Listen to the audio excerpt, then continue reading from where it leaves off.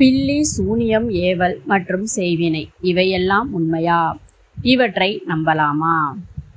இந்த மாதிரி ஆன்மீகம் சம்பந்தமான கேள்விகள் இருந்துச்சுன்னா மறக்காமல் நம்ம சேனலை சப்ஸ்கிரைப் பண்ணிக்கோங்க. இப்போ நம்ம வீடியோக்குள்ளே போகலாம். வாங்க. அதாவது இந்த பில்லி சூனியம் ஏவல் இந்த செய்வனை இது எல்லாமே உண்மைதாங்க. ஆனால் இது வந்து குறிப்பிட்ட நாட்களுக்கு பின் வந்து ஒரு செய்யக்கூடிய செய்வினை வந்து பாதிக்கும் தன்மை கொண்டதுங்க. இது ஒரு குறிப்பிட்ட நாட்கள் தான் வந்து இதனுடைய பாதிப்பும் இருக்குங்க. அதனால் பில்லி சூனியம் அப்படிங்கிறதெல்லாம் இருக்கக்கூடியது தான்.